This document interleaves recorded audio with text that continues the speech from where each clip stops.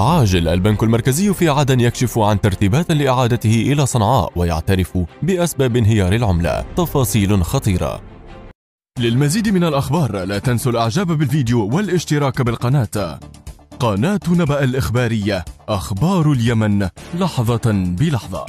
كشف نائب رئيس مجلس إدارة البنك المركزي في عدن شكيب حبشي اليوم عن ترتيبات لإعادة البنك إلى صنعاء. وأفاد الحبشي في رسالة لموظفي البنك في عدن طالبهم فيها بالالتفاف حوله بأن مطالب إقالته تأتي في إطار مساع لإعادة البنك إلى صنعاء لتوحيد السياسة المالية. وحاول حبش القائم بأعمال محافظ البنك الدفاع عن الاتهامات له بالفساد ونهب المال العام متهما قيادات في الشرعية بالوقوف وراء حالة التدهور التي وصلت إليها العملة. واعترف حبش بنهب موارد الدولة وعدم توجيهها لدعم الموازنة العامة. وجود فساد في الدفاع والأمن سيطرة من وصفهم بالمتنفذين على قطاعي البنوك والصرافة إضافة إلى فساد من وصفهم بهوامير النفط. الوسطاء في الصفقات المشبوهة ناهيك عن انقسام السوق الاقتصادية وتعاني العملة المحلية في مناطق سيطرة هادي منذ قرار نقله البنك المركزي من صنعاء في عام 2016 حيث وصل سعر صرف العملة المحلية الريال إلى 1600 مقابل الدولار الواحد. رغم نجاح صنعاء بالحفاظ